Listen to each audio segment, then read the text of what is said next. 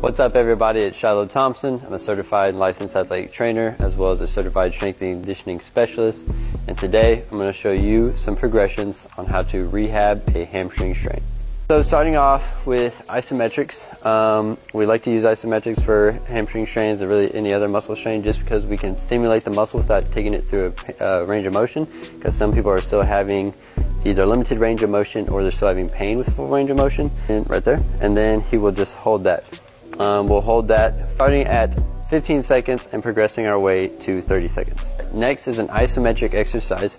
So what Bless is going to do is he's going to go into a single leg hip bridge on the injured leg and then he's going to work on driving that heel into the ground. Alright, after you do that, the next progression, you're going to move the foot out just a little bit more, not much, but then you're going to do the same thing. So you're going to go into hip extension and then you're going to drive that heel back into the ground. Our next exercise is going to be a dumbbell RDL. I'm going to have Bless show the exercise.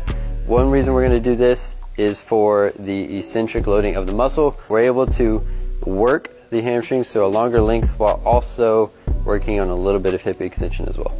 Next, sticking with eccentric loading, he's going to bring up both legs uh, into a full leg curl, full range of motion leg curl, and then he's going to remove the one leg and then use the injured leg and slowly release and